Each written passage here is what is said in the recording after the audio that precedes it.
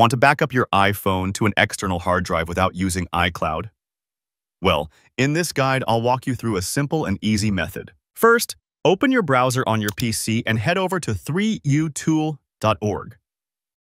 Once you are on the website, scroll down a little and click the download button under 3utools free download. After that, scroll further and you'll see download options for both Windows and Mac OS. Just pick the one that matches your computer and start the download.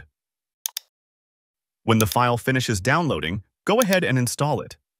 The installation might take a couple of minutes, so just be patient. Once it's installed, launch the 3U Tools app. Now connect both your iPhone and your external hard drive to the computer. As soon as your iPhone connects, you'll see its details show up on the screen.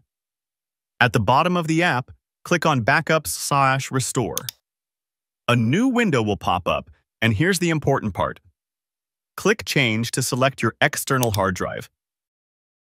If you'd like, you can even create a new folder and name it something like iPhone Backup, so it's easy to find later. Now that your destination is set, simply hit the Backup Now button. The backup process will begin, and depending on the amount of data on your iPhone, it might take some time. Just make sure both your iPhone and the hard drive stay connected throughout the process. And that's it. You've successfully backed up your iPhone to an external hard drive. No iCloud needed. If you found this helpful, don't forget to like the video and subscribe for more simple tech tutorials.